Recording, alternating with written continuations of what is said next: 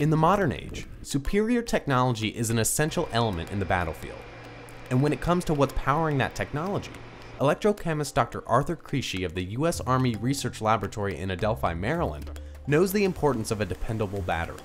That's why he and other members of the U.S. Army Research Development and Engineering Command are working to allow the lithium ion batteries soldiers utilize in the field to use their full capacity without safety concerns.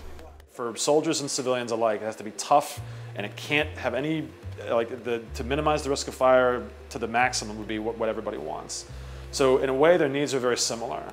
Because of their compact size and high energy density, lithium ion batteries are a great resource for soldiers to keep on hand. But despite the convenience of these batteries, they still have their own set of risks that Cresce and his colleagues hope to address. The main problem with lithium ion batteries has always been their safety. The fact that they can catch, they can and do catch fire. And there's, so there's quite a lot of engineering that has to go along with the charging of lithium ion batteries. These fires, caused by batteries overheating and igniting the highly flammable electrolytes found within, are incredibly dangerous due to the toxic fumes they emit. Even worse, water can't put out the fire. As a result, most lithium ion batteries only use a fraction of their energy while the rest remains dormant.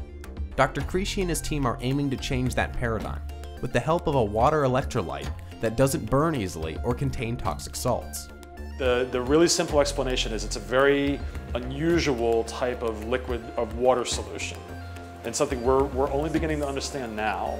We really don't understand a lot of it. There's, there, it behaves differently at low temperatures than it does at high.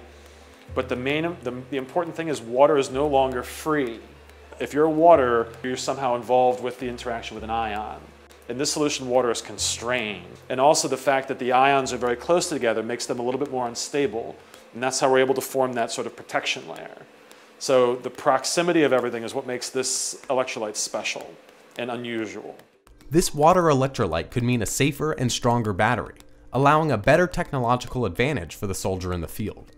Unlike the Earth's abundant salt water, water in salt electrolytes are far less common.